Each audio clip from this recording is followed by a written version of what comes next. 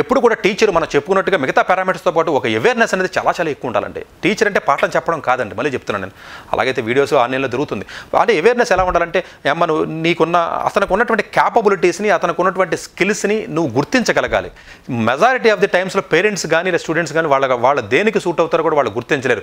ఏదో ఎమోషనల్గా ఏదో ఒక వీడియో చూసో ఎమోషనల్గా ఒక సినిమా చూసో లేకపోతే ఎమోషనల్గా కూడా ఫ్రెండ్ చెప్పాడని చెప్పేసి నేను పైలట్ అవుతాను లేకపోతే రైల్వేలోకి వెళ్తాను లేకపోతే నేను ఏదో డిఫెన్స్లోకి వెళ్తాను లేకపోతే నేను ఏదో ఒక ఐఏఎస్ ఆఫీసర్ అవుతానని చెప్తారు తప్ప నిజంగా వాళ్ళకి అటువంటి పూర్తి అవగాహన నిజంగా ఉండదని పాపం వాళ్ళకి వాళ్ళు అంటాను కూడా తప్పలేదు.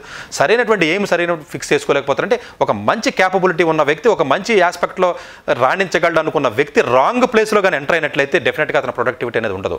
సో ఇతను రాంగ్ ప్లేస్లోకి ఎంటర్ అవ్వకుండా ఉండాలి అంటే ఆ టీచర్ సరైనటువంటి అవేర్నెస్ కానీ అన్ని కోర్సుల మీద అన్ని వాటి మీద అవగాహన తెచ్చుకుని వాళ్ళు కానీ ప్రాపర్గా గైడెన్స్ చేసినట్లయితే డెఫినెట్గా కంట్రీ ఇంకా ముందుకెళ్ళడానికి అవకాశం ఉంటుంది. ఎందుకంటే teaching is different guiding is different training is different awareness is different ఇప్పుడు ట్రైనింగ్ కాదండి ఇది. ఇది ఒక టీచింగ్ కూడా కాదు ప్యూర్ టీచింగ్ కూడా కాదు. ఒక రకమైనటువంటి గైడెన్స్ కూడా ఆ టీచర్ ఇవ్వగలగాలి. అంటే ఒక ఒక విద్యార్థి చదువుతున్నటువంటి విద్యార్థి ఒక ఒక బీఎస్సీ మ్యాథ్స్ చదువుతున్న విద్యార్థికి ఎలా చెప్పాలి? చదువుతో పాటు అతనికి ఉన్నటువంటి అవకాశాలను చెప్పాలి. అతనికి ఉన్నటువంటి స్కిల్స్ నువ్వు గుర్తించాలి. అతనికి ఉన్నటువంటి ప్లస్ పాయింట్లు గుర్తించాలి. అతనికి ఉన్నటువంటి మైనస్ పాయింట్లు గుర్తించాలి. ఇవన్నీ గుర్తించి ఇదైతే నీకు సూటబుల్ అవుతుందమ్మా అని చెప్పేసి అతను ప్రాపర్ విధానంలో కానీ నువ్వు పంపించగలిగితే డెఫినెట్గా అతను మంచి సిటిజన్ అయ్యి మంచి సక్సెస్ఫుల్గా మంచి సాధించగలిగే వ్యక్తి అవడానికి ఎక్కువగా అవకాశాలు ఉన్నాయి. సో ఇక్కడ మనం గుర్తుపెట్టుకోవాల్సినటువంటి విషయం ఏంటంటే డెఫినెట్గా మనకు ఒక ముప్పై సంవత్సరాల తర్వాత మనకి యూత్ అనేది డెఫినెట్గా ప్రపంచంలోనే one of the major work force అయ్యే అవకాశం ఉంది. సో ఈ ఫోర్స్ని ప్రాపర్గా ఎయిటీ ఫైవ్ పర్సెంట్ అన్స్కిల్డ్ అని చెప్పేసి మనకి సర్వేస్ కానీ గవర్నమెంట్ రిపోర్ట్స్ కానీ ప్రైవేట్ కంపెనీస్ కానీ మొత్తుకుంటున్నారు. గత ఐదు సంవత్సరాల నుంచి పది సంవత్సరాల నుంచి. సో ఇవన్నీ కూడా మనకు పోవాలి అంటే ఒక ఓవర్ నైట్లో రెండు నెలల మూడు నెలల మనం సాఫ్ట్వేర్ ట్రైనింగ్ అమీర్పేటలోకి వెళ్ళి కూర్చుని నేర్చుకుంటానో లేకపోతే ఇంకో చోట విజయవాడ వచ్చి కూర్చుంటాను రాదంటది సో టీచర్స్ కానీ డెఫినెట్గా ఒక రెస్పాన్సిబుల్గా ఒక అకౌంటబిలిటీగా తీసుకుని డెఫినెట్గా వీళ్ళకి కానీ ఆ స్కిల్స్ ఇన్బిల్ట్ స్కిల్స్ నువ్వు వీళ్ళు చెప్పకపోయినా పర్లేదు. ఎక్కడ స్కిల్ నేర్చుకోవడంలో ఉపయోగాలు చెప్పు. స్కిల్ ఎక్కడ నేర్చుకోగలవో చెప్పు. చాలు వాళ్ళు నేర్చుకుంటారు. ఇది చదివిన తర్వాత పలానా కోర్సుకి వెళ్తే బాగుంటుందమ్మా. నీకున్న తెలివితేటలకి నీకు ఉన్నటువంటి ఇంటెలిజెన్స్కి లేకపోతే నీకు ఉన్నటువంటి లిమిటేషన్స్కి నీకు ఉన్నటువంటి ఫ్యామిలీ బ్యాక్గ్రౌండ్కి ఇదైతే బాగుంటుందని నువ్వు గైడ్ చేయి ప్రాపర్గా పేరెంట్స్ని కన్విన్స్ చేయి. ఆ రూట్లోకి పంపించు. నువ్వేమి చెప్పక్కర్లేదు. సో ఒక ప్రాపర్ అవేర్నెస్ ఇస్తూ ఒక ప్రాపర్ గైడెన్స్ ఇస్తూ ఒక మంచి వాల్యూస్ ఇస్తూ నువ్వు పాఠం తక్కువ చెప్పినా పర్లేదు సబ్జెక్ట్ చెప్పకపోయినా పర్లేదు అసలు నాలెడ్జ్ ఇవ్వకపోయినా పర్వాలేదు. Then definitely you will be become a good teacher అంటే ఒక గుడ్ టీచర్ అవ్వాలంటే డెఫినెట్గా ఇవన్నీ కూడా క్వాలిటీస్ని మీరు ఉన్నట్టు మీరు కానీ మంచి టీచర్ కింద బిహేవ్ చేసినట్లయితే డెఫినెట్గా కంట్రీ ఎంతో ముందుకి వెళ్ళడానికి లేదా ఫ్యామిలీ పరంగా కానీ అతను సెల్ఫ్గా ఎదగడానికి కానీ లేకపోతే మీరు లైఫ్ లాంగ్ మంచి ఎంతోమంది వందల వేల మంది నేను విద్యార్థిని తయారు చేశానన్న సాటిస్ఫాక్షన్తో మీరు చనిపోవాలనుకున్నా కూడా చనిపోయే ముందు మనం ఫీల్ అవ్వాలి ఎంతో మంది వేల మందిని మనం తయారు చేసామని చెప్పి అనుకోవాలి తప్ప మీరు తయారు చేసినటువంటి స్టూడెంట్ ఒక దొంగతనం చేసో మీరు తయారు చేసినటువంటి స్టూడెంట్ ఒక యాంటీ సోషల్ యాక్టివిటీ చేసి ఒక జైల్లో ఉండో లేకపోతే మీరు తయారు చేసినటువంటి స్టూడెంట్ ఒక రోడ్డు మీద సరైనటువంటి ఎటువంటి వ్యసనాలతో బ్యాడ్గా తిరుగుతూ లేకపోతే మీరు తయారు చేసినటువంటి స్టూడెంట్ ఒక డ్రగ్స్కి అలవాటు పడి లేకపోతే వేరే వేరే అన్వాంటెడ్ థింగ్ చేస్తూ ఉన్నప్పుడు ఆ బాధ ఏదైతే ఒక టీచర్గా నిజంగా మనం బాధపడగలమని అనుకుంటే డెఫినెట్గా మనం ఆ బాధను మనం భరించలేం. అందుగురించి మనం తయారు చేసే స్టూడెంట్స్ ఎప్పుడు కూడా డెఫినెట్గా ఫ్యామిలీకి కానీ సొసైటీకి కానీ అన్ని రకాలుగా ఉపయోగపడే విధంగా ఉండాలి తప్ప ఒక యాంటీ సోషలిస్ట్ కింద లేకపోతే ఒక సబ్జెక్ట్ని మాత్రం మీరు ఎప్పుడైతే మీరు ఇచ్చారో నాలెడ్జ్ని ఎప్పుడైతే ఇచ్చారో ఎప్పుడైతే షార్ట్ కట్ మెథడ్స్ని ఇచ్చారో ఎప్పుడైతే కాపీ చేయడం నేర్పించారో లేకపోతే ఎప్పుడైతే మీరు సెల్ఫిష్ ఎజెండాతో మీరు ఎప్పుడైతే పిల్లల్ని మీరు చూశారో అటువంటి విధానంగా మీరు ఎప్పుడైతే చూశారో టెంపరీగా మీకు రిలీఫ్ అయితే ఉండొచ్చు తప్ప డెఫినెట్గా లైఫ్ లాంగ్ మీరు ప్రౌడ్గా ఫీల్ అవ్వడం నేను వంద మందిని తయారు చేశానని చెప్పుకునే పరిస్థితిలో మీరు రావాలి. సో అలా అటు అలా రాగలిగితే నిజమైన టీచర్ అని చెప్పి చెప్పడానికి ఉంటుంది తప్ప నేను టీచింగ్ ఫీల్డ్లో పది సంవత్సరాలు ఉన్నాను ఎన్నో వందల మంది ప్రపంచవ్యాప్తంగా ఉన్నారని చెప్పి ఈ రోజున కూడా నేను గర్వంగా చెప్పుకోగలుగుతున్నాను అంటే వాళ్ళు మంచి ఉద్యోగాల్లో ఉండడమే కాదు మంచి సిటిజన్స్ కింద మంచి మంచి వ్యక్తుల కింద కూడా వాళ్ళు ఉన్నారు. ఉన్నారని నేను గర్వంగా చెప్పుకోగలుగుతున్నాను. అలాగా ప్రతి విద్యార్థి కూడా ప్రతి టీచర్ కూడా డెఫినెట్గా అలా చెప్పుకుని విధానం ప్రతి టీచర్ కూడా రావాలని నేను మనస్ఫూర్తిగా కోరుకుంటూ అన్ని రకాలుగా వాళ్ళు చేయాలని నేను మనస్ఫూర్తిగా కోరుకుంటున్నాను. ఫైనల్గా అసలు ఏం చెప్తున్నారు? పిల్లలు ఏం నేర్చుకుంటున్నారు అన్నది కానీ మనం ఒకసారి మనం ఆలోచించినట్లయితే జనరల్గా టీచర్స్ ఎట్లా ఉందంటేనంటే ఏదో ఒక అకాడమిక్ కరికులం తీసుకోవడం లేకపోతే ఏదైనా ఓల్డ్ పేపర్స్ తీసుకోవడం లేకపోతే దానికి సంబంధించి పాఠాలు కానీ దానికి సంబంధించినటువంటి ప్రాబ్లమ్స్ చెప్పడం. So they are training the students in such way that they should perform in the academic exams well అంతే తప్ప ఈ చెప్పి విధానం ఏదైతే ఉందో వాళ్ళు ఒక కాన్సెప్చువల్గా కానివ్వండి ఒక అప్లికేషన్ పద్ధతిలో కానివ్వండి ఒక క్యూరియాసిటీ పెంచే విధంగా కానివ్వండి ఒక ఇంట్రెస్ట్ని పెంచే విధానం ఏదైతే ఉందో అది చెప్పడానికి అవకాశం లేకుండా ఉంది. అంటే ఎడ్యుకేషన్ సిస్టమే ఆ రకంగా అయిపోయింది. నేను ఐ అగ్రి అంటే ఇక్కడ ఎక్కడ కూడా ఒక పట్ల టీచర్ని నేను బ్లేమ్ చేద్దామనో లేకపోతే టీచర్ సరిగ్గా చెప్పట్లేదనో కాదండి దాన్ని మీరు అలా అర్థం చేసుకోకూడదు. అంటే నేనేమంటానంటే మొత్తం అన్ని కార్పొరేట్ స్కూల్స్ వచ్చినాయి కార్పొరేట్ కాలేజెస్ uh, వచ్చినాయి వాళ్ళు ఇన్సిస్ట్ చేస్తున్నారు మార్క్స్ ఎక్కువ కావాలి పేరెంట్స్ కూడా మార్క్స్ ఎక్కువ కావాలంటున్నారు. స్టూడెంట్స్ కూడా దాని గురించి తపన పడుతున్నారు. ఇవన్నీ ఉన్నాయి నెగిటివ్ పాయింట్స్ ఐఎమ్ నాట్ అవన్నీ నేను చెప్పట్లేదు. అంటే ఏమాత్రం అవకాశం ఉన్నప్పటికీ కూడా ఎప్పుడైనా మీరు ఒక క్లాస్ దగ్గరికి వెళ్ళారు ఒక ఒక టాపిక్ మనం మాట్లాడుతున్నప్పుడు ఏదో ఒక ఫోర్స్ గురించి చెప్ప చెప్పదలుచుకున్నారు మీరు. ఫోర్స్ గురించి చెప్ప చెప్పాలి అన్నప్పుడు దాని యొక్క కాన్సెప్ట్ కానీ దాని అప్లికేషన్ కానీ ఎక్కడ దాన్ని ప్రాక్టికల్గా ఎక్కడ ఉపయోగపడుతుంది? ప్రాక్టికల్గా దాని యొక్క అప్లికేషన్ ఏ విధంగా ఉంటుంది? న్యూటన్స్ లాస్ అంటే ఏంటి? దాని అప్లికేషన్ ఏ విధంగా ఉంటుంది? రియలిస్టిక్ లైఫ్లో ఏ విధంగా ఉంటుంది? అని ఆ థీరీ ఎక్కువ చెప్పడానికి ఎక్కువ టైం మీరు కేటాయించాలి.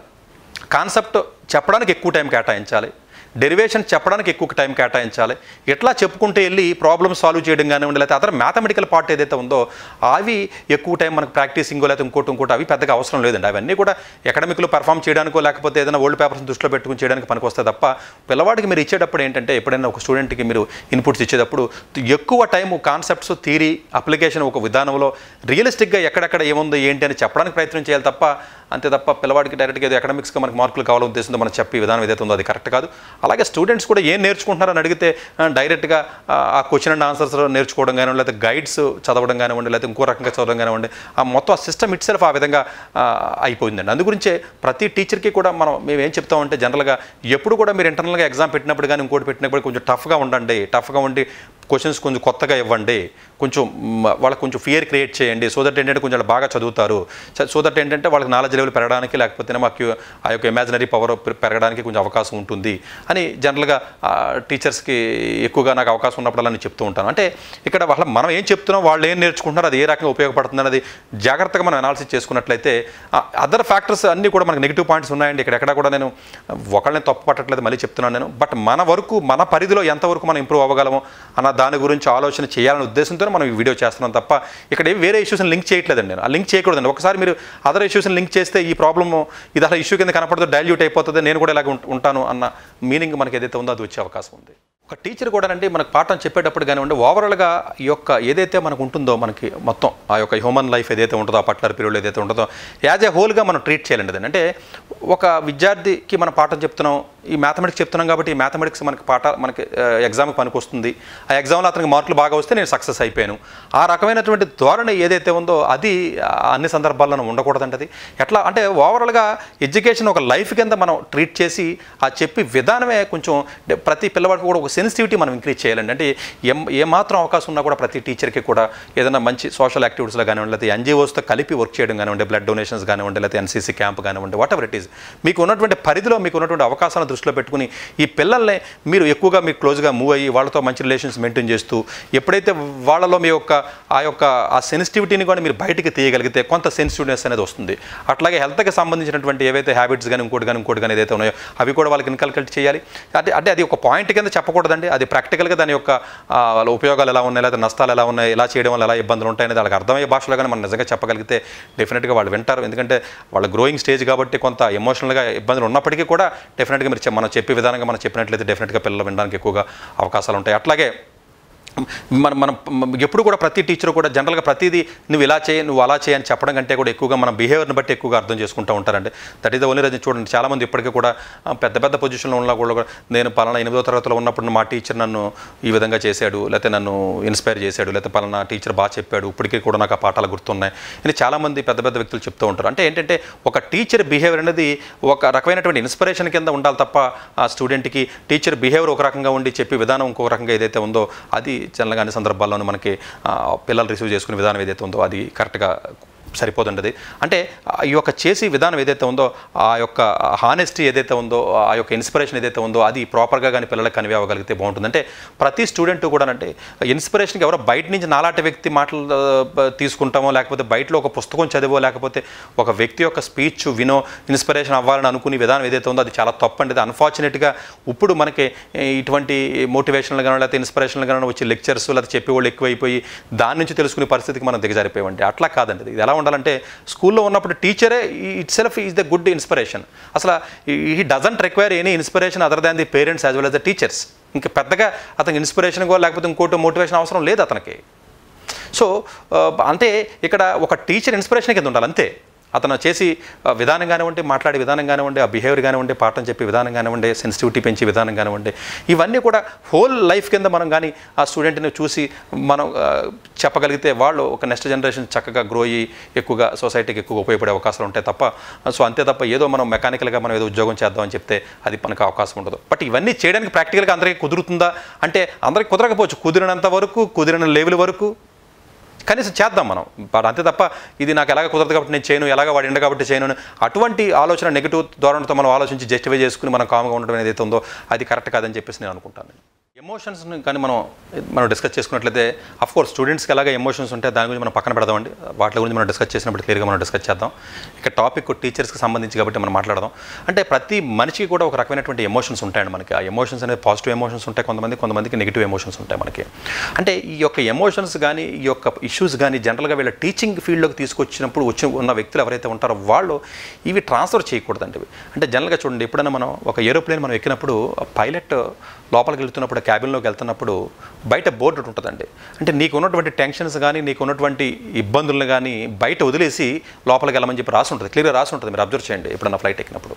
అంటే ఇక్కడ ఏంటంటే ఒక ఒక మాస్టర్ క్లాస్ రూమ్లోకి వచ్చినప్పుడు అతనికి ఉన్నటువంటి ఎమోషనల్ ఇష్యూస్ కానీ అతనికి ఉన్నటువంటి అదర్ లిమిటేషన్స్ కానివ్వండి ప్రాబ్లమ్స్ కానీ అవి స్కూల్లోకి ఎప్పుడు కూడా క్యారీ చేయకూడదండి. అంటే ఒక టీచరే కాదండి టీచర్తో పాటు మనం డాక్టర్స్ కూడా అంతేనండి. వాళ్ళ పర్సనల్ ఇష్యూస్ని కానీ వాళ్ళ ఎమోషన్స్ కానీ ఇక్కడ తీసుకురాకూడదు. ఇప్పుడు నా కోపం ఎక్కువ ఉంది కదని ప్రతి స్టూడెంట్ మీద కోపడడం కానీ లేకపోతే నేను ఇలాగ ఉండాలి అని చెప్పి నేను నా ఎక్స్పెక్టేషన్స్ ఇంత ఉండొచ్చు స్టూడెంట్ ఎక్స్పెక్టేషన్ తక్కువే ఉండొచ్చు నేను అతన్ని అటాక్ చేయడం కానివ్వండి లేకపోతే కొంతమంది పిల్లల్ని బాగా చూసి కొంతమంది పిల్లల్ని బాగా చూడకపోవడం కానివ్వండి లేకపోతే ఇటువంటి ధోరణి ఏదైతే మనకు ఉందో ఆ ఎమోషన్స్ని ఇక్కడ తీసుకురాకుండా ఉండాలి. అలాగే డెఫినెట్గా యాజ్ అ టీచర్గా మనం ఎమోషన్స్ని కంట్రోల్ చేసుకున్నప్పుడు మాత్రమే అప్పుడు కూడా పిల్లలు మనం చూ మనల్ని చూసి నేర్చుకుంటారు. ఇప్పుడు ఫర్ ఎగ్జాంపుల్ ఒక ఇద్దరు ముగ్గురు స్టూడెంట్స్ మనల్ని గట్టిగా తిట్టారు. లేకపోతే ఏదో ఇష్యూ అయింది ఒక టీచర్గా గబగబా మనం కూడా అదే స్పీడ్లో మనం రియాక్ట్ అయ్యి వాళ్ళ పేరెంట్స్తో కానీ లేకపోతే వాళ్ళ అదర్ సిచ్యువేషన్స్ ఇచ్చిన మనం కూడా అంతే స్పీడ్లో రియాక్ట్ అయితే అతనికి మనకి తేడా ఉందా అంటే లేదని చెప్పాలి. అంటే ఇప్పుడు అతను స్టూడెంట్ అతని ఏజ్ వేరు మనం టీచరు మన ఏజ్ వేరు. అతను బిహేవ్ చేస్తున్నప్పుడు అతనికి ఉన్నటువంటి ఫ్యాక్టర్స్ వేరు ఉంటాయి మనం బిహేవ్ చేసినప్పుడు మన ఫ్యాక్టర్స్ వేరే ఉండాలి. ఎందుకంటే మన ఎమోషనల్ లెవెల్ అతని ఎమోషనల్ లెవెల్ ఒకే రకంగా ఉంటుంది కాబట్టి మనం రియాక్ట్ అయినప్పుడు డెఫినెట్గా అతని అతని ప్లేస్లో మనం ఉంటే ఎలా ఆలోచిస్తాము? మనం చిన్నప్పుడు ఏ రకంగా ఆలోచించాము?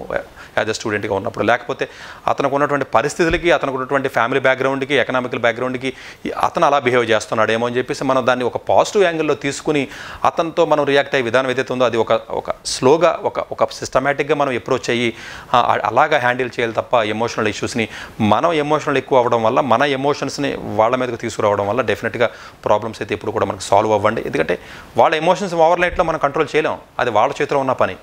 మన ఎమోషన్స్ మనం కంట్రోల్ చేసుకోవడం అనేది మన చేతుల్లో ఉన్న పని కాబట్టి నేనేం చెప్తానంటే స్టూడెంట్స్ ఇష్యూస్ పక్కన పెట్టండి. అసలు వాళ్ళు వాళ్ళని ఎలా కంట్రోల్ చేసుకుంటారు వాళ్ళని ఎలా కంట్రోల్ చేసుకుంటారు అయితే వాళ్ళ పేరెంట్స్ ఏ విధంగా చేస్తున్నారో పక్కన పెడితే మన ఎమోషన్స్ని మనం కంట్రోల్ చేసుకోవడం అనేది ఏదైతే మన హ్యాండ్లో ఉంది కాబట్టి మనం చేసుకుని వాళ్ళ పేరెంట్స్ని కానివ్వండి లేకపోతే పిల్లల్ని కానివ్వండి మనకు అవకాశం ఉన్నంత వరకు వాళ్ళకి ఎక్స్ప్లెయిన్ చేసి అండర్స్టా ఇష్యూ అండర్స్టాండ్ అయ్యే విధంగా మనం మాట్లాడినట్లయితే అట్లీస్ట్ కొంతలో కొంత నా ప్రాబ్లమ్స్ మనకి సాల్వ్ అవడానికి అవకాశం ఉంటుంది. తప్ప మనం కూడా అంతే రియాక్షన్తో అంతే స్పీడ్గా మనం ఎప్పుడైతే మనం యాక్ట్ చేసామో దానివల్ల ఆ- యొక్క టీచింగ్ విధానం ఏదైతే ఉందో కరెక్ట్గా ఇట్టి పరిస్థితుల్లో మనకు సాగదు. సో దాన్ని మనం ఎలా బ్యాలెన్స్ చేసుకోవాలి ఏ విధంగా చేయాలన్నది మాత్రం ప్రతి టీచర్ కూడా మనం మనసులో గుర్తుపెట్టుకోవాల్సిన అవసరం ఎంతైనా ఉంది. కొంతమంది ఏం చెప్తారంటే బ్యాడ్ టీచరు లేకపోతే బ్యాడ్ స్టూడెంట్ అని చెప్తారండి మనకి. అంటే do we really bad teachers in our country do we really bad students in our country అన్న క్వశ్చన్ మార్క్ కానీ మనం వేసుకున్నట్లయితే ఎక్కడ కూడానండి అంటే స్టూడెంట్స్ కొంతమంది చెప్పొచ్చు. టీచర్ సరిగ్గా లేడంటే బ్యాడ్ టీచర్ అని చెప్పొచ్చు. నేను స్టూడెంట్స్కి చెప్పినప్పుడు ఏం చెప్తానంటేనండి ఇప్పుడు అంటే రెండు వైళ్ళ రెండు వైపులా కూడా మనం మాట్లాడుకున్నట్లయితే ఒక ఒక స్టూడెంట్ నిజంగా గుడ్ స్టూడెంట్ అయ్యాడు అనుకోండి ఒకవేళ. డెఫినెట్గా he can learn anything from the bad teacher if the student is not a good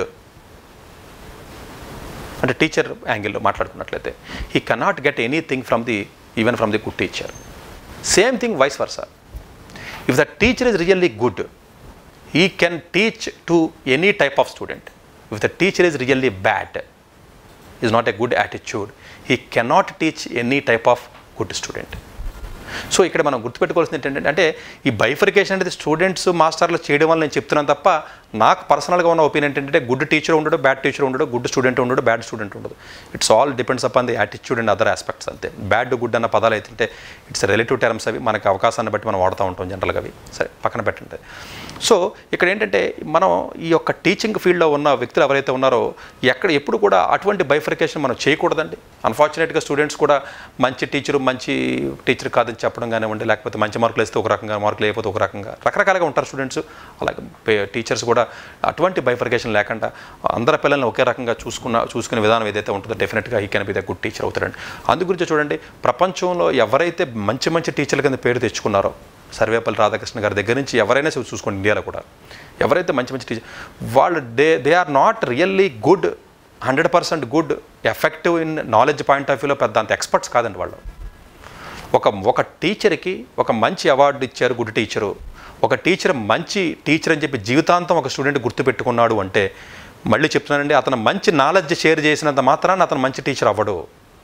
అతను బిహేవియర్ కానివ్వండి అతని సెన్సిటివిటీ విధానం కానివ్వండి అతని యొక్క ప్రేమ కానివ్వండి అతని ఎఫెక్షన్ కానివ్వండి అతని పిల్లలను చూసిన విధానం కానివ్వండి అతని ప్రేమను పంచిన విధానం కానివ్వండి దీన్ని బట్టి స్టూడెంట్స్ ఆ టీచర్ని మంచి అని చెప్పి జీవితాంతం మర్చిపోకుండా ఉంటారు తప్ప ఒక మంచి మార్కులు వేస్తేనో మంచి సబ్జెక్ట్ చెప్తేనో మంచి నాలెడ్జ్ని ట్రాన్స్ఫార్మ్ చేస్తే కొంతకాలం మాత్రమే మీకు గుర్తుంటాడు ఆ టీచరు తర్వాత గుర్తుండడు. డెఫినెట్గా ఏ టీచర్ అయితే నిజంగా లైఫ్ లాంగ్ పిల్లలకు నేను గుర్తుండాలని చెప్పి అనుకుంటారో ఏ టీచర్ అయితే పిల్లలకి నేను మంచి టీచర్ కింద నేను గు- రావాలి గుర్తింపు పడాలి అని మీరు ఎవరైతే అనుకుంటారో వాళ్ళకి నేను చెప్పేది ఒకటే. అంటే టెక్నికల్ సబ్జెక్టో లేకపోతే అదర్ సబ్జెక్ట్ నాలెడ్జ్ చెప్పొద్దని చెప్పట్లేదంటే అది ఎలాగ అందరూ చెప్తారో మీరు చెప్పండి. అది that is a separate aspect అది అలా కాకుండా అదర్ ఆస్పెక్ట్స్లో మీరు ఏ విధంగా కనెక్ట్ అయి ఉన్నారు స్టూడెంట్కి ఏ రకంగా మీరు బిహేవ్ చేస్తున్నారు? అతని యొక్క అదర్ ఆస్పెక్ట్స్ని కూడా మీరు పర్సనల్ ఆస్పెక్ట్స్ని కానీ అదర్ ఆస్పెక్ట్స్ని కూడా మీరు ఏ విధంగా అతన్ని ఓన్ చేస్తున్నారు? ఏ టీచర్ అయితే స్టూడెంట్స్ని అతని సొంత పిల్లలాగా ఎవరైతే చూసుకుంటున్నారో అటువంటి క్వాలిటీస్ ఏ టీచర్కి అయితే ఉంటాయో ఆ టీచర్ చనిపోయేంత వరకు అలాగే ఆ స్టూడెంట్ బ్రతుకున్నంత వరకు కూడా ఆ మాస్టర్ని ఎప్పటికీ కూడా మర్చిపోలేడు.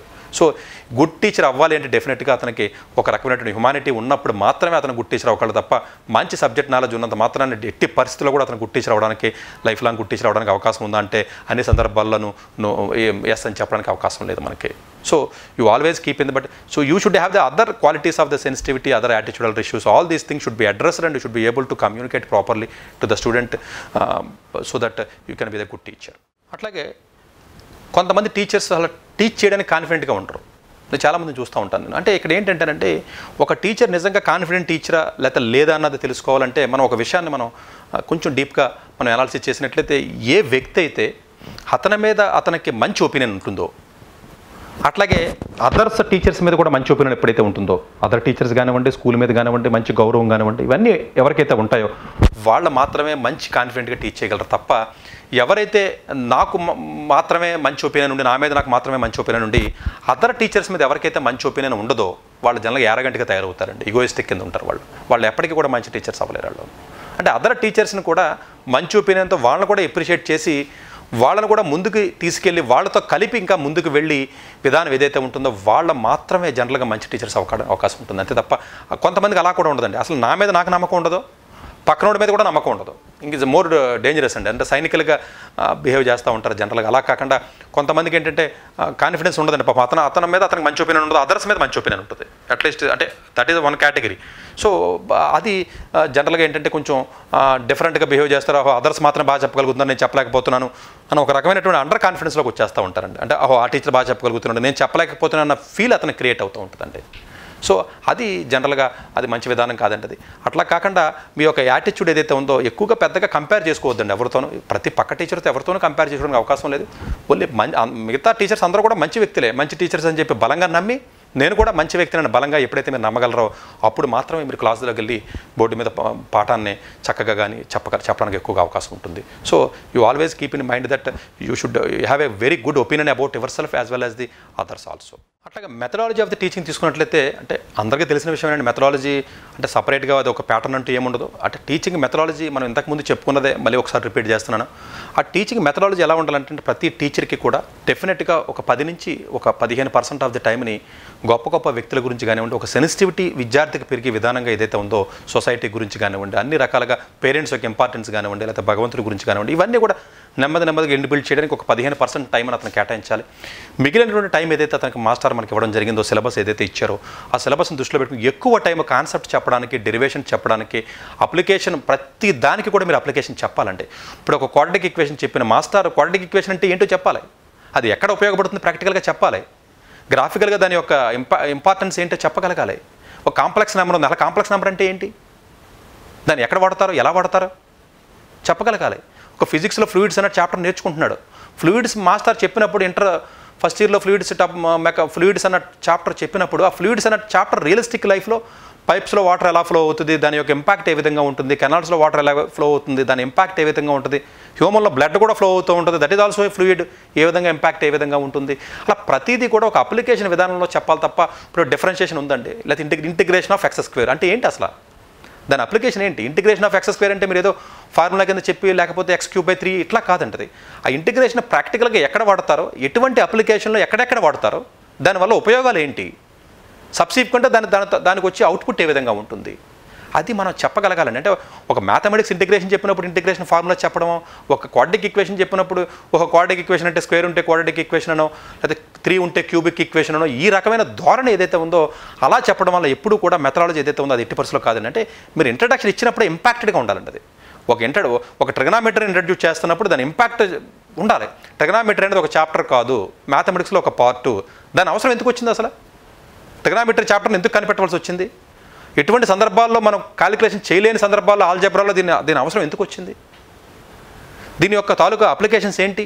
దీని తర్వాత నెక్స్ట్ లాగర్దమ్స్ వచ్చింది. లాగర్దమ్ అంటే ఏంటి? అసలు ఎందుకు అవసరం వచ్చింది లాగర్దమ్ అది? అంటే ప్రతిదీ మ్యాథమెటిక్స్ కానీ ఫిజిక్స్ కానీ కెమిస్ట్రీ కానీ స్కూల్ లెవెల్లో కానివ్వండి అయితే ప్రొఫెషనల్ కోర్సులో లీగల్గా కానివ్వండి మెడికల్గా కానివ్వండి ఇంకో రకంగా కానివ్వండి ఏవైతే మన కోర్సులో మనం మాట్లాడుకుంటున్నాం ఇంజనీరింగ్ కానివ్వండి ప్రతిదీ కూడా క్లియర్ కట్గా మనకి అప్లికేషన్ ఎప్పుడైతే మీరు చెప్పారో కుర్రవాడికి ఆ మెథడాలజీ ఆఫ్ టీచింగ్ ఎప్పుడైతే మీకు ఎలా ఉందో సో ఎప్పుడైతే మీకు ఇంట్రెస్ట్ పెరుగుతుంది అందు గురించే కదండి. ఫారెన్ ఆథర్స్ బుక్స్ ఎందుకు మనం గ్రేట్ అని చెప్తామంటే మీరు అబ్జర్వ్ చేస్తే ఎనీ ఫారెన్ ఆథర్ బుక్ తీసుకోండి మీరు. ఎన్ని డిగ్రీ లెవెల్ కానివ్వండి పోస్ట్ గ్రాడ్యుయేషన్ కానివ్వండి స్కూల్ లెవెల్ కానివ్వండి. ఆ ఫారెన్ ఆథర్ టెక్స్ట్ బుక్స్లో వాడు థీరీ ఎక్కువ ఇస్తాడు. కాన్సెప్ట్ని డిఫరెంట్ డిఫరెంట్ లైవ్ ఎగ్జాంపుల్స్తో కంపేర్ చేస్తాడు. ఫైనల్గా వచ్చి ప్రాబ్లమ్స్ వచ్చి చాలా తక్కువ ఇస్తాడండి ఫోర్ ఫైవ్ ఇస్తాడు అంతే. అంటే మెథడాలజీ ఎలా ఉండాలంటేనంటే ఉన్నటువంటి టైంలో మీకు ఎప్పుడు కూడా more than fifty percent of the time concept చెప్పడానికి అప్లికేషన్ చెప్పడానికి ప్రాక్టికల్గా దాని యొక్క యూసేజ్ ఏ విధంగా ఉంది ఎక్కడెక్కడ దాన్ని వాడతాము వాడటం వల్ల ఎటువంటి అవుట్పుట్ వస్తుంది అన్న లైనప్ కానీ మీరు చెప్పగలిగితే అప్పుడు మీకు ఆటోమేటిక్గా స్టూడెంట్ కనెక్ట్ అయిపోతాడు. అంతే తప్ప మీరు ఇక్కడ ఏదో హెడ్డింగ్ వేసి logarithm of log ten ఎంత లేదా లాగ్ టూ ఎంత లేకపోతే ఏదో ఫార్ములా ఇంటిగ్రేషన్లో ఒక ఫార్ములా వేసో లేకపోతే ఇంకొకటి ఏదో కెమిస్ట్రీలో మీరు ఏదో చెప్పితే మెటల్స్ ఏదో చెప్పారు లేదా అటామిక్ స్ట్రక్చర్ అన్నారు. అటామిక్ స్ట్రక్చర్ అంటే ఏంటి? అసలు దేనికి పనికి వస్తుంది? ఎక్కడ వాడతారో? దాని యొక్క యూజ్ ఏంటి? మెడికల్గా వాడతారా? లేకపోతే ఇంకో రకంగా వాడతారా? ఇంకో రకంగా వాడతారా? అనేది ఆ ఎక్స్టెండ్ చేయాలి లాజిక్ని అది సిలబస్లో ఉండడం లేకపోవడం కాదండి అక్కడ ఇంపార్టెంట్ ఆ యొక్క అప్లికేషన్ మీరు ఎప్పుడైతే మీరు ఎక్స్టెండ్ చేశారో ఇది తెలుసుకోవాలన్న కోరిక మొదలవుతుంది. ఇది ఒక మెకానికల్ సబ్జెక్ట్ మెకానికల్గా ఆలోచించారు. సబ్జెక్ట్ని మెకానికల్గా ఆలోచించకూడదు. అది ఒక దీన్ని ఎందుకు కనిపెట్టారు అసలు? ఫస్ట్ ఆఫ్ ఆల్ ఏంటంటే ఈ చాప్టర్ ఇవాల్వ్ అవ్వడానికి రీజన్స్ ఏంటి? దాని ఎక్కడ స్టక్ అవ్వడం వల్ల ఆ డిస్కవరీలో ఆ సైన్సిస్ట్ ఎక్కడ స్టక్ అవ్వడం వల్ల దీని యొక్క కనిపెట్టడం జరిగింది? మళ్ళీ ఎక్స్టెండ్ అవుతుంది ఒక పర్టికులర్ కాన్సెప్ట్ ఒక పర్టికులర్ చాప్టర్ ఒక చోట స్టక్ అయిపోతాడు. ఇంకొక సైన్సిస్ట్ ఎవరో వచ్చారో అతనికి దాన్ని ఎక్స్టెండ్ చేయడానికి అవసరం అయింది. అవసరమైనప్పుడు మళ్ళీ అతను కానీ అతను four year series four year series అంటే ఏంటి మ్యాథమెటిక్స్లో దాని అవసరం ఎందుకు వచ్చింది అసలు? ఎక్కడో ఒక చోట స్టక్ అయ్యింది ఆ కంటిన్యూటీ దెబ్బతింది. ఆల్జెబ్రా కంట ఆగింది లేదా టెక్నామెట్రీ ఆగింది లేదా నెక్స్ట్ లిమిట్స్ ఆగింది తర్వాత డిఫరెన్షియేషన్ ఆగిపోయాడు. అలా కంటిన్యూటీలో ఆ యొక్క డెవలప్మెంట్ అనేది ఏదైతే మనకు ఉందో మనం మాట్లాడుకుంటున్నామో సైంటిఫిక్గా ఉన్న డెవలప్మెంట్స్ ఏవైతే టెక్నాలజీ అనుకుంటున్నామో ఇవన్నీ కూడా ఒక పర్టికులర్ కాన్సెప్ట్ని ఒక ఒక ఒక సబ్జెక్ట్ వచ్చి దాని తర్వాత ఒక చోట ఆగడం వల్ల వేరే ఒకటి వచ్చి దాన్ని మళ్ళీ ఎక్స్టెండ్ చేయడం. అంటే ఆ నెససిటీ చెప్పాలి దాని అప్లికేషన్ చెప్పాలి. ఎందుకు అది మనం చేస్తున్నాం అనేది ప్రాక్టికల్గా మనం ఎప్పుడైతే మీరు చెప్పగలరో అప్పుడు మాత్రమే పిల్లవాడికి మీరు మంచి కాన్సెప్ట్ ఇచ్చినట్టు అవుతారు. ఆ మెథడాలజీలోనే మీరు ఏంటంటే ఫిఫ్టీ పర్సెంట్ ఆఫ్ ది టైంని ఎప్పుడు కూడా ఎక్కువ కాన్సెప్టువల్గా మీరు ఎక్కువగా చెప్పడానికి ప్రయత్నం చేయాలి. ప్రాబ్లమ్స్ చేయడం లేకపోతే ఏమో ఫార్ములైజ్డ్ చేయడం ఇవన్నీ వాళ్ళ తర్వాత ప్రాక్టీస్ చేసుకుంటారు లేకపోతే ఇంటికెళ్ళి చేసుకుంటారు. That is not the role of the teacher that is the role of the student teacher role ఏంటి? ఓన్లీ క్యూరియాసిటీని చెప్పడం ఆ టాపిక్ని బలంగా ఇంట్రడ్యూస్ చేయగలగాలి. తర్వాత స్టూడెంట్ చదువుకుంటాడా లేకపోతే చదువుకోడా? అతను అంతే తప్ప మీరు వెయ్యి ప్రాబ్లమ్స్ చేయించారా? వంద ప్రాబ్లమ్స్ చేయించారా? లేకపోతే ఓల్డ్ పేపర్స్ ఒక ఇరవై ఓల్డ్ పేపర్స్ చేయించారా? పాత పేపర్ల దగ్గర పెట్టుకుని బట్టి పట్టించారా? ఇది టీచర్ రోల్ కాదండి ఇది టీచర్ రోల్ ఏంటంటే ఆ యొక్క ఇన్పుట్స్ని ప్రాపర్గా మీరు ఆ ఇంట్రడక్షన్ కరెక్ట్గా ఇవ్వాలి ఆ- ఆ టాపిక్ని ఆ ఇంట్రడక్షన్ ఇవ్వడానికి ఎక్కువ టైం తీసుకోవాలి మీరు. కనెక్ట్ చేయాలి. మల్టిపుల్గా కనెక్ట్ చేయాలి. అంటే ఒక ఫిజిక్స్ చెప్పి మాస్టర్ మ్యాథమెటిక్స్ని కనెక్ట్ చేయగలగాలి కెమిస్ట్రీని కనెక్ట్ చేయగలగాలి. చేస్తూ ఈ యొక్క కాన్సెప్ట్ని చెప్పుకుంటా పైకి రావాలి. అప్పుడు ఎప్పుడైతే అతనికి పిల్లవాడికి మొత్తం క్లారిటీ వస్తుంది క్లారిటీ వచ్చిన తర్వాత అతను చేసేసుకుంటాడు ఆటోమేటిక్గా అంతే తప్ప మీరు ఆ మెథడాలజీ ఏదైతే ప్లానింగ్ ఉందో నేను చెప్పినట్టుగా ఒక పదిహేను పర్సెంటేజ్ కొంత అదర్ ఆస్పెక్ట్స్ మనం చెప్పుకున్నాం. అలాగే ఒక అందులో మిగిలినటువంటి టైంలో fifty percent more than fifty percent concepts కానీ వీటికి కానీ చెప్పుకున్నట్లయితే డెఫినెట్గా అతను మంచి విద్యార్థి అవడానికి ఎక్కువగా మనకి అవకాశాలు ఉంటాయి. అంటే సబ్జెక్ట్ పరంగా కానివ్వండి అతను పర్సనాలిటీ డెవలప్మెంట్ కానీ అదర్ యాటిట్యూడల్ ఇష్యూస్లో కానీ అతను మంచిగా ఎక్కువగా పెరగడానికి అవకాశం ఉంటుంది. అలాగే చెప్పి విధానం ఏదైతే మనకి ఫ్యాకల్టీ మెంబర్ ఉంటున్నారో అతని బిహేవియర్తో పాటు అతను చెప్పి విధానం ఏదైతే ఉందో అది డెఫినెట్గా అతను మంచి హానెస్టీ అనేది అందులో మనకి ఇంటిగ్రిటీ కనపడాలండి. అంతే తప్ప ఏదో మనం టైం ఇచ్చారు కదా గంట సేపు మన పాఠం చెప్తున్నాం అన్న ఫీలింగ్ ఆ యొక్క స్టూడెంట్ కలగకూడదు ఆటోమేటిక్గా కొంతమంది టీచర్స్ ఉన్నారనుకోండి ఒక రెస్పాన్సిబిలిటీగా తీసుకుని ఒక అకౌంటబిలిటీ నాకు పలానా చాప్టర్ ఇచ్చారు కాబట్టి పలానా సబ్జెక్ట్ టీచ్ చేయమన్నారు కాబట్టి ఫుల్ ప్లేజర్గా దీని నాలెడ్జ్ని వాళ్ళకి ట్రాన్స్ఫర్ చేయగలగాలి అన్న ఒక రకమైన ధోరణి ఏదైతే ఉందో అది బాడీ లాంగ్వేజ్లో కానీ చెప్పి విధానంలో కానీ క్లియర్గా స్టూడెంట్కి కనపడే విధంగా ఉండాలి. Of course time management time సరిగ్గా సరిపోవట్లేదు. అటువంటి టైం మేనేజ్మెంట్ వచ్చినప్పుడు క్లియర్ కట్గా మీరు స్టూడెంట్స్ని కన్విన్స్ చేయండి అవసరమైతే extra one or two hours మీరు నిజంగా సరిపోతే చెప్పండి స్టూడెంట్స్ని కానీ పేరెంట్స్ని కానీ కన్విన్స్ చేయాలి. That is also your role అంటే అలాగే స్టూడెంట్స్ అన్ అన్రిలేటెడ్ యాక్టివిటీస్లో పాల్గొంటూ ఉంటారు. బంద్ చేయడం లేకపోతే ఇంకోటి చేయడం ఇంకోటి చేయడం లేకపోతే చూడండి ఎవరో మెసబోలదని చెప్పేసి రెండు రోజులు బంద్ చేశారు. అంటే ఇటువంటి ఇష్యూస్ కాలేజెస్లో అక్కడ అన్ని చోట్ల జరుగుతూ ఉంటాయి. అవి వాళ్ళకి అర్థమయ్యి భాషలో చెప్పి ఫ్యూచర్ మీరు పాడు చేసుకోకండి అన్న విధానం ఏదైతే ఉందో అది మీరు చెప్పడం వల్ల వాళ్ళకి కనివే అవ్వదండి గుర్తుపెట్టుకోండి. మీ బిహేవియర్ మీరు చెప్పే విధానం మీ హానెస్టీ మీ బాడీ లాంగ్వేజ్ ఇది ద్వారానే మీకు కన్వే అయిపోతుంది ఆటోమేటిక్గా అంతే తప్ప మనం వేరే రకంగా ఉంటూ వాళ్ళని మీరు ఇట్లా చేయొద్దు అలా చేయొద్దు అంటే చెప్తే జనరల్గా వాళ్ళు రిసీవ్ చేసుకోవడానికి ఎక్కువగా అవకాశాలు ఉండవండి. సో డెఫినెట్గా మీరు మీ పిల్లల్ని ఏ విధంగా అయితే మీరు ఇంట్లో పెరగాలని మీరు కోరుకుంటారో అలాగే కాలేజీలో ఉన్న లేకపోతే స్కూల్లో ఉన్న పిల్లలు కూడా ఆ రకంగా ఉండాలని చెప్పి మీరు ఎప్పుడైతే మీరు అనుకుంటారో డెఫినెట్గా మీకు మంచి ఫ్యాకల్టీ మంచి టీచర్ అయ్యే అవకాశం ఉంటుంది. సో లైఫ్ లాంగ్ మిమ్మల్ని వాళ్ళు గుర్తుపెట్టు ఈ ఫీల్డ్ అనేది చాలా గ్రేట్ ఫీల్డ్ అనేది అంటే ఒక వ్యక్తి ఎన్నో వందల వేల మంది మనసులో గుర్తుపెట్టుకోవడానికి అవకాశం ఉన్నటువంటి ఫీల్డ్ ఏదైనా ఉంది అంటే this is the only field ఒక ఐఏఎస్ ఆఫీసర్ని ఒక ఐపీఎస్ ఆఫీసర్ని అంత వేల మంది అన్ని వందల మంది గుర్తుపెట్టుకుని అంత అవకాశం ఉండదో అన్ని మంచి పనులు చేసే అవకాశం కూడా అతను స్పాన్లో ముప్పై సంవత్సరాల ఉద్యోగంలో రాదు. ఇది అలా కాదు. ప్రతి సంవత్సరం కొత్త కొత్త పిల్లలు వస్తారు. కొత్తగా పాఠాలు చెప్పాలి. మళ్ళీ కొత్త వాళ్ళు వస్తారు మళ్ళీ కొత్తగా పాఠాలు చెప్పాలి. సో ఎన్నో వందల మందికి అతను ఎప్పుడు వచ్చే అవకాశం ఉంటుంది కాబట్టి ఇతను మాత్రమే ఎక్కువగా సొసైటీని అంటే హయ్యెస్ట్ ఇంపాక్ట్ ఎవరైనా చేయగలరు అంటే సొసైటీని వీళ్ళ మాత్రమే సొసైటీని ఇంపాక్ట్ చేయగలరు. సొసైటీని ఇంపాక్ట్ మీరే వేరే ఎవరు చేయలేరంటే వీళ్ళ చేసినంతగా ఎవరు చేయలేరు. ఒక టీచర్ ఇంపాక్ట్ చేసినట్టుగా సొసైటీని అలాగే ఒక టీచర్ని కొలిచి భగవంతుడితో సమానంగా కొలిచి సొసైటీ అంటూ ఉందంటే ఇదే సొసైటీ ఉంది మనకి. సో అందువల్ల ఏంటంటే ఎక్కువ ఇంపాక్ట్ కూడా మీరే చేయగలరు ఎక్కువ రిసీవింగ్ కూడా మీరే చేసుకోగలరు కాబట్టి ఏదో దాన్ని ఆ ప్రొఫెషన్ ఏదో ఒక ఒక మనీ ఎర్న్ చేసే ప్రొఫెషన్ కిందో లేకపోతే వేరే దాని కిందో తీసుకుని ఏదైతే ధోరణి ఉందో అది ఎట్టి పరిస్థితుల్లో మంచిది కాదు. అది కరెక్ట్ కాదని నేను చెప్తున్నాను అందరికీ. అట్లాగే కొంత కొన్ని సందర్భాల్లో స్టూడెంట్స్ని ఎట్లా హ్యాండిల్ చేయాలి ఏంటి అన్నది కూడా మన ప్రాబ్లం అవుతుంది ఉంటుంది. అంటే నేను ఏం చెప్తానంటే అన్ని సందర్భాల్లోనూ స్టూడెంట్స్ని సాఫ్ట్గా తీసుకోవాల్సిన అవసరం ఉందా అంటే లేదని చెప్తానండి నేను. ఎందుకంటే కొన్ని కొన్ని సందర్భాల్లో టీచర్స్ కూడా హార్ష్గా ఉండాలి. ఇప్పుడు మన పిల్లవాడి ఇంట్లో ఉన్న పిల్లవాడు బియాండ్ లిమిటేషన్స్ అలర్ చేసినప్పుడు లేదా బియాండ్ చేసినప్పుడు ఏం చేస్తాం మనం? అతనికి ఉన్న ఏజ్కి అతనికి ఉన్న ఎమోషన్స్ని కంట్రోల్ అవ్వ అతనికి. యాజ్ అ ఎల్డర్గా ఒక పెద్ద వ్యక్తిగా మనం అతను కంట్రోల్ చేయాలంటే ఆ కంట్రోలింగ్ అనేది నువ్వు కొన్ని సందర్భాల్లో చెప్పడానికి ప్రయత్నం చేస్తావు మ్యాక్సిమం కన్విన్స్ చేస్తావు కన్విన్స్ అవ్వకపోతే అవసరమైతే కొన్ని పనిష్మెంట్ రూపంలో అయినా సరే మనం అతనికి తెలియజేయడానికి ప్రయత్నం చేస్తాం. మనందరం కూడా చిన్నతనంలో ఎవరో ఒకరు పనిష్మెంట్ చేయడం వల్ల లేకపోతే అది పేరెంట్స్ ద్వారా కానివ్వండి సొసైటీలో కొంతమంది పెద్ద వ్యక్తులు అవనివ్వండి లేదా టీచర్ ద్వారా కానివ్వండి అలా ఎంతో కొంత భయంతో మనం పెరిగాం కాబట్టి మాత్రమే మనం ఈ రోజున మనం కొంతమంది ఎవరైతే ఉన్నారో మంచి మంచి పొజిషన్లో ఉండడానికి ఎక్కువగా అవకాశం ఉంది అందువల్ల ఏంటంటే ఒక టీచర్ ఎప్పుడు కూడా ఫస్ట్ మ్యాక్సిమం ట్రై చేస్తారు. కానప్పుడు అవసరం అయితే డెఫినెట్గా మీరు పనిష్మెంట్ ద్వారా కానీ ఇంకో రకంగా కానీ అవసరమైతే ఇటు అంటే మీ హానెస్టీ మీరు చేసే బిహేవియర్లో ఆ సిన్సియారిటీ ఎప్పుడైతే మీకు ఉందో మీరు పనిష్మెంట్ చేసినా కూడా పీపుల్ విల్ యాక్సెప్ట్ ఇట్. అంతే తప్ప మీరు కరెక్ట్గా లేకుండా మీరు అన్ని హాస్పిటల్లోనూ కరెక్ట్గా లేకుండా నేను స్టూడెంట్ని పనిష్మెంట్ చేస్తాను అంటే then people will not accept parents accept చేయరు. సో మొత్తం ఒక ప్యాకేజ్ కింద రావాలి తప్ప నేను ఓన్లీ పనిష్మెంట్ చేస్తాను నేను హార్ష్గా ఉంటాను నేను సరిగ్గా పాఠాలు చెప్పను సరిగ్గా బిహేవ్ చేయను అంటే ఒప్పుకోరు. అంటే ఒక టీచర్ పనిష్మెంట్ చేయొచ్చు చెయ్యాలి. ఇప్పుడు అన్ఫార్చునేట్గా ఏమవుతుందంటే ఇప్పుడు ఒక సినిమా తీస్తాడు. ఆ సినిమా సినిమాలు తీసే నిర్మాతలు ఎవరైతే ఉన్నారో అన్ఫార్చునేట్గా మాస్టర్ల మీద జోకులు వేస్తారు లేడీ మాస్టర్ల మీద జోకులు వేస్తారు స్టూడెంట్స్ మీద జోకులు వేస్తారు లేకపోతే భగవంతుడి మీద కూడా జోకులు వేసేస్తున్నారు తల్లిదండ్రుల మీద కూడా జోకులు వేసేస్తున్నారు ఇష్టం వచ్చిన సీన్లు తీసేసి సినిమాల్లోనూ లేకపోతే సీరియల్లోనూ పెట్టి అది మొత్తం ఏదైతే మనకి ఆ రిలేషన్స్ ఏవైతే ఉన్నాయో టీచర్ స్టూడెంట్ లేకపోతే ఇంకోటి ఇంకోటి ఇవన్నీ కూడా స్పాయిల్ చేసే పరిస్థితికి సొసైటీ దిగజారిపోయింది వాళ్ళు ఏం చెప్తారు? లేదండి ఇదంతా కూడా మీరు దాన్ని పాజిటివ్గా తీసుకుంటే పాజిటివ్గా తీసుకుంటే నెగిటివ్గా తీసుకుంటే నెగిటివ్గా తీసుకోవాలి. చాలా ఇందులో పాజిటివ్ పాయింట్స్ ఉన్నాయి. మేము సినిమానేమో ఎండింగ్ పాజిటివ్గా ఎండ్ చేసాం మేము. మీరు ఓన్లీ సినిమానే చూస్తున్నారు ఎండింగ్ చూడట్లేదు అంటారు ఇక్కడ మనం అర్థం చేసుకోవాల్సిన విషయం ఏంటంటే పిల్లలు ఎప్పుడు కూడా ఎలా ఆలోచిస్తారంటే అందులో ప్రతి దాంట్లో నెగిటివ్ పాయింట్స్ తొందరగా అట్రాక్ట్ అవ్వడానికి ఎక్కువగా ట్రై చేస్తూ ఉంటారండి. పెద్దవాళ్ళు ఏం చేస్తారంటే పాజిటివ్ పాయింట్ తీసుకోవడానికి ట్రై చేస్తారు. సో ఎప్పుడు కూడా పెద్దవాళ్ళు ఎట్లా చెప్ప ఎట్లా చేయాలంటే ఆ చిన్నవాళ్ళు ఆ- చిన్నపిల్లలు ఆ ఏజ్లో ఉన్నటువంటి వాళ్ళు అన్నీ కూడా నెగిటివ్ పాయింట్స్ తీసుకుని జోవియల్గానో లేకపోతే జోకో లేకపోతే టీచర్స్ అంటే ఒక రకమైన చులకన భావం ఏదైతే నెగిటివ్ పాయింట్స్ మనకి సోషల్ మీడియాలో కానీ సినిమాల్లో కనపడుతున్నాయో అవి తీసుకుని దాన్ని బట్టి బిహేవ్ చేస్తారు కాబట్టి పెద్దవాళ్ళుగా మనం చేయవలసినటువంటి బాధ్యత ఏంటంటే వాళ్ళని నా నెగిటివ్ పాయింట్స్ తీసుకోకుండా పాజిటివ్ పాయింట్స్ కూడా ఉన్నాయని చెప్పి చెప్పి విధానం ఏదైతే ఉంటుందో అది చేయాలి. అలాగే ప్రతి టీచర్ కూడానండి కొన్ని కొన్ని మంచి మంచి గ్రేట్ ఎందుకంటే కొన్ని మనం చెప్తే అర్థమవుతాయి కొన్ని మనం చెప్పలేం. మీరు చెప్పండి. సినిమాలు చూసి ఇంట్రెస్ట్ బాగా ఉంది ఒక విద్యార్థికి? మీరు ఏం చెప్పాలి? దంగల్ అనే సినిమా ఉంది అది చూడమని చెప్పాలి.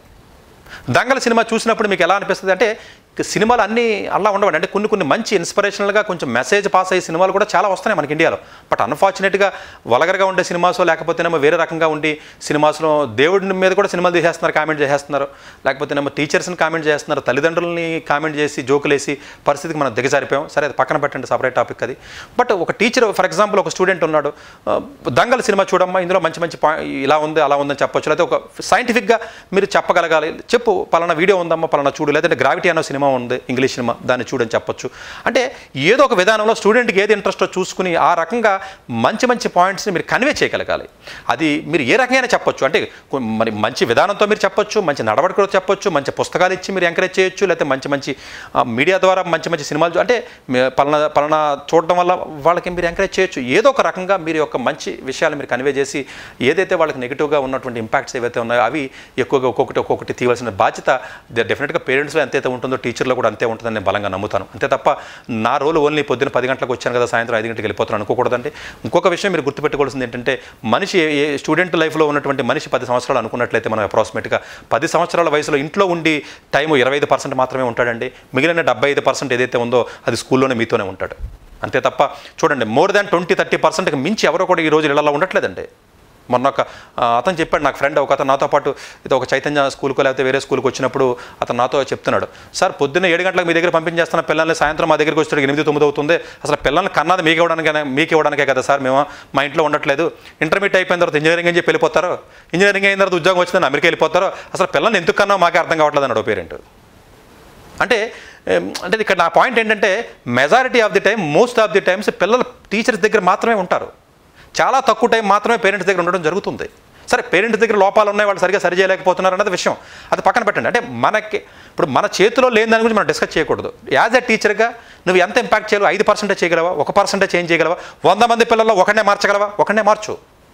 సంవత్సరానికి పది మందిని మార్చగలవా? మార్చు. చాలు.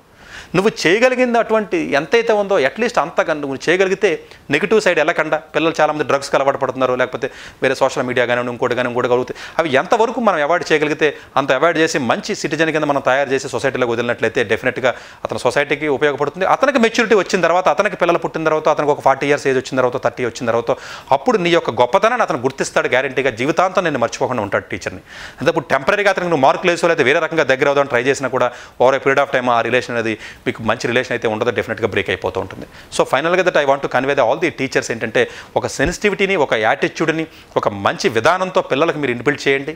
అలాగే సబ్జెక్ట్ చెప్పేటప్పుడు ఒక కాన్సెప్చువల్గా చెప్పడానికి ప్రయత్నం చేయండి. అట్లాగే ఏది కూడా మీరు పక్క టీచర్స్తో కానివ్వండి పక్క నెగిటివ్ పాయింట్స్తో కానివ్వండి లేకపోతే మీరు ఫేస్ చేసే ఇబ్బందులతో కానివ్వండి ఇవన్నీ కూడా మీరు కంపేర్ చేసుకోవద్దు. ఒక కాలేజీలో చేస్తున్న ప్రతి మాస్టర్ కూడా ఆ కాలేజీ ఒక దేవత కింద ఒక దేవుడి కింద పూజించాలి. అంతే తప్ప ప- అక్కడికి వెళ్ళి కాలేజీ చైర్మన్ తిట్టో లేకపోతే కాలేజీ కట్టిన వాడినో తిట్టో లేకపోతే కాలేజీ ప్రిన్సిపాల్ మీద కామెంట్ చేసో లేకపోతే కాలే అవన్నీ కూడా నెగిటివ్ పాయింట్లు తీసుకుని మీరు కామెంట్ చేయడం వల్ల ఉపయోగం లేదు. సో మీరు ఒక కాలేజీలో చదువుతున్నారు. ఫర్ ఎగ్జాంపుల్ ఒక విజ్ఞాన యూనివర్సిటీలో మీరు ఒక ఫ్యాకల్టీ కింద చేస్తున్నారు లేదా ఒక కేఎల్ యూనివర్సిటీలో చేస్తున్నారు. చేస్తున్న ఫ్యాకల్టీ మేము ఎలా ఉండాలి ఆ కాలేజీ మీద మంచి అభిప్రాయం ఉండాలి. ఆ కాలేజీ రన్ చేసేవాడి మీద మంచి అభిప్రాయం ఉండాలి. అలా మంచివాళ్ళ చెడ్డవాళ్ళ కాదండి నేను అది మాట్లాడలేదు ఇట్స్ సపరేట్ టాపిక్ అది. అది అసలు కాదు అది. సో ప్రిన్సిపల్ మీద మంచి ఒపీనియన్ ఉండాలి స్టూడెంట్స్ మీద మంచి ఒపీనియన్ ఉండాలి మన మీద మనకు మంచి ఒపీనియన్ ఉండి మనం కాన్ఫిడెంట్గా మనం ఎంతవరకు దాన్ని చేయగలం నిజాయితీగా మీరు చేసినట్లయితే ఒక్కొక్క సందర్భాల్లో మీకు పాజిటివ్ రావచ్చు ప్రమోషన్ రాకపోవచ్చు శాలరీ పెరగకపోవచ్చు నష్టాలు జరగవచ్చు జరగనివ్వండి.